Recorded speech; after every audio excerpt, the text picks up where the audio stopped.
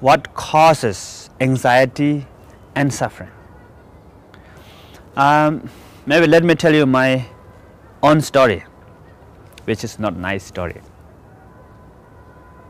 but good ending, happy ending.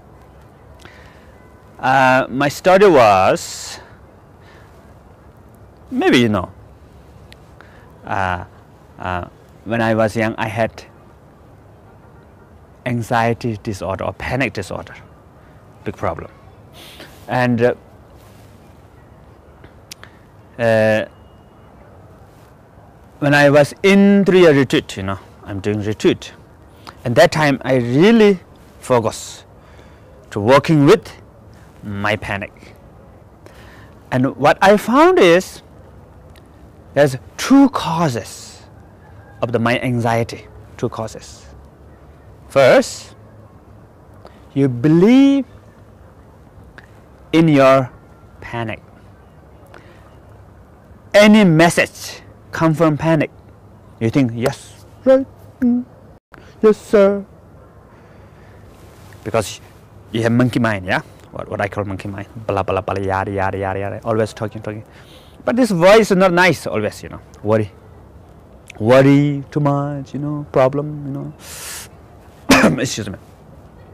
That's a problem, that's a problem. He's not good, she's not good, he's not good. Oh, there's danger. Oh, and you think, yes, yes, not good, not good. Oh, problem. What should I do? Mm, ah, you know, and this is why problem become bigger and bigger. And there's this in, in your brain, the scientists said there's a lot of neurons in your brain and they talk a lot. They love gossip, gossipy neurons. And the sharing gossip each other, you know. And then one neuron said, oh, there's a problem. Oh. And another neuron said, yes, there's a problem, you know. Oh, yes, yes.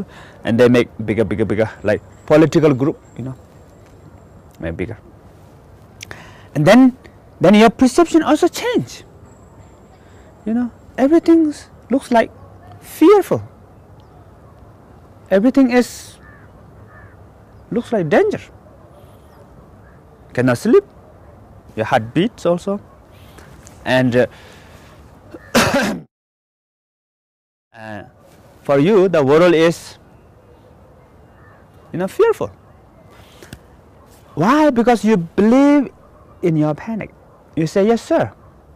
This is why maybe 99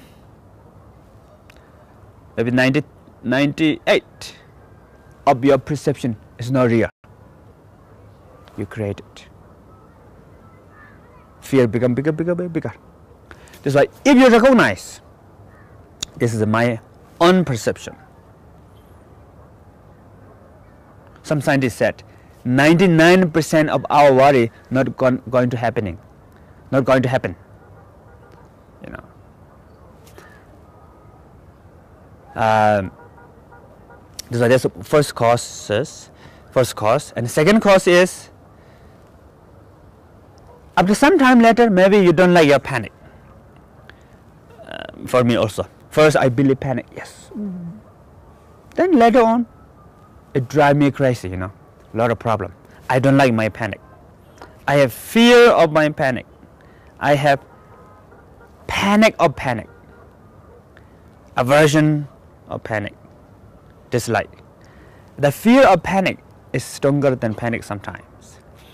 And then that what I call, hey, you know, you're, you're fighting with the panic, you're against the panic. And that also create more, more anxiety. The behind of anxiety, there's another anxiety, push you to develop your, your anxiety. This why I think best is the best is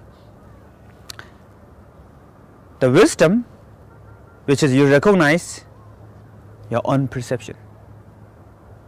Maybe you have little problem, but your mind exaggerate the problem, very big. And uh, the method here is compassion and meditation, calm abiding meditation. And that kind of like give you peace, peaceful experience. Your mind become more calm and relaxed. A combination of these two, then you can free from panic. That's why this is not only with the panic, all the other sufferings also. Situation, situation in our lives. Um, everybody has their own suffering. Everybody has their own problems. Each one has different problems. Some is a little bit funny, some is looks like meaningless, some is look like big problem. But someone having big problem, but they don't feel it's big problem. Hmm. I'm okay with that, you know. Who cares? So how you mind look at it? When you have problem, it's always connected with maybe yes sir or fighting hey get out. This problem you know. This is true uh, for example uh, funny problem maybe I will say funny problem. Uh, what is funny problem? I cannot find now. No problems you know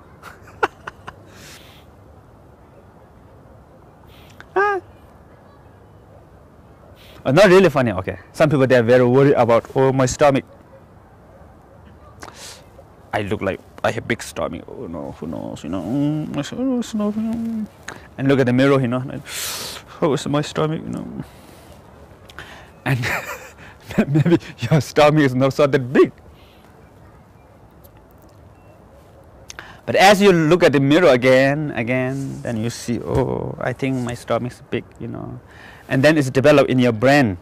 These gossipy neurons, they're talking each other. Yes, your stomach is big, not good. Oh, you should do something. Oh, exercise. Oh, whatever. Don't eat. It's too much, you know. But I want to eat, but not good. Your mind said, don't eat, but your stomach said, eat, you know, and they fight. And slowly, slowly, you feel like you're very ugly. And every day you, you feel like you're become, your stomach is become bigger and bigger, although it's not. Maybe who knows, become smaller. But you feel like become bigger and bigger, you know. And when you walk in front of other people, oh, she's looking at my big stomach. Or he's looking at my big stomach. Actually, nobody looking at your stomach. But you think like that. Then you cannot communicate with others, you know, you're very shy or embarrassed or, you know, depressed. And, uh, and, uh, and then sometimes you may, you may thought, oh, it's maybe not, not, it's not real. Maybe I'm just thinking. My, maybe I'm just created. I'm thinking that I have big stomach. And you make some research. Maybe they are not looking at my stomach.